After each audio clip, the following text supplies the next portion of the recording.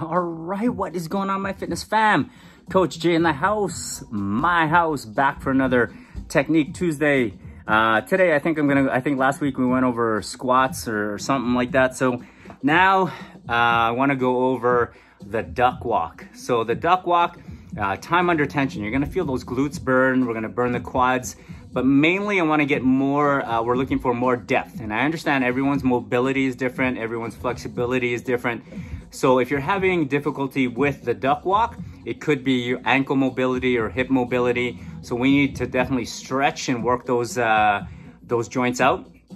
Uh, and stretch out those muscles. So for the duck walk, um, I think it might be part of the Romans workout, depending which Romans workout you are doing.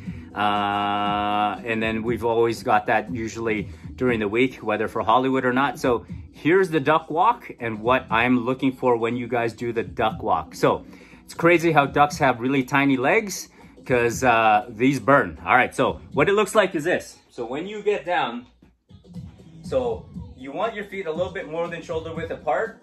You want to get that bum down nice and low. So you want to push the knees out, opening up the hips to allow that bum to go nice and low. You're going to have the elbows between the knees if you have a dumbbell uh, um, or a, add a little resistance, you can have dumbbells here or one dumbbell. All right, so from the side view, what it's gonna look like is this. So from what I see, a lot of people are either tight in the hips or really tight in the ankles and they're doing their duck walks like this, all right? If you can take big steps like this, you're not going low enough and then you're probably putting a lot of pressure on your lower back, all right? So what I want is tiny, tiny steps forward tiny, tiny steps back. And in order for you to do that or restrict your steps, then we really need to get that uh, bum down and drop those hips. So you're gonna squat down nice and low, push the knees out, allowing the bum to go nice and low.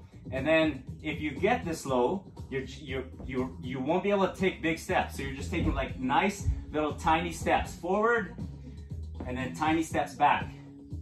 All right? So if you want to practice and just work on that mobility, I kind of like to grab my toes, my ankles, and then I kind of just drop. All right? And then I want to push the knees out and open up the hips. All right? And just hold it from there. So similar to when we do the frog squats, we want to get that bum down, really open up the hips, tiny steps forward, tiny steps back.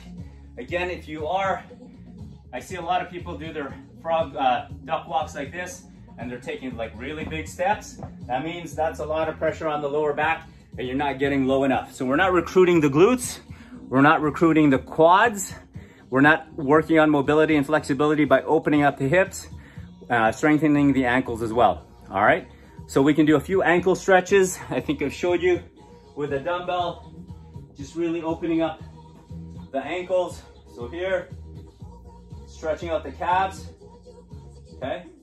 And then if you want, if you've got a nice little TRX, if you've got a lat bar at home, uh, something stable, I have my feet more than shoulder width apart, and then I point my toes out slightly, and then I'm literally going to squat down, nice and low, pushing those hips forward, sitting up nice and tall, all right? So you wanna sit up nice and tall, and then you can even rock back and forth to work on that ankle stability as well and mobility. Forward and back, and just opening up those hips, all right? That's gonna help with that duck squat, with the uh, frog squats, uh, sorry, the duck walk, the frog squats, even just your regular squats to really open up the hips and work on that ankle stability. So hopefully that helps. Try that. Let me know how that goes.